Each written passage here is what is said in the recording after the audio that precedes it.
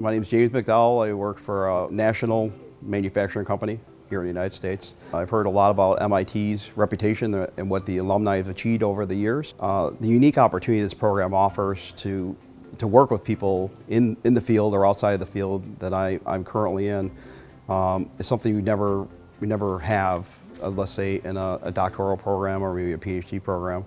Um, so that's why I chose this particular program to, to experience that, and it didn't let me down.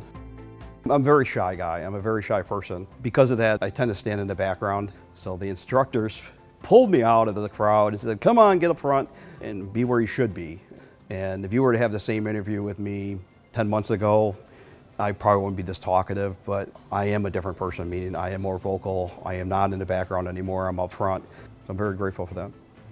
You know, we get to a certain level in our careers and then we're kind of like, okay, what are we going to do next? Do I want to spend three years uh, doing a PhD or a doctoral program?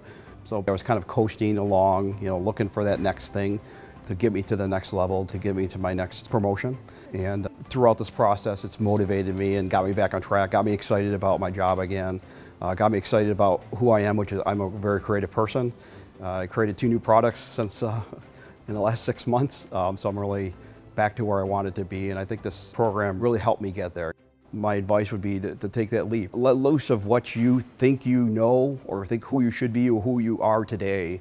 Let loose and become somebody different and let the school and let the course uh, mold you to a different person, maybe a better person than, than you could ever imagine, like it did for me.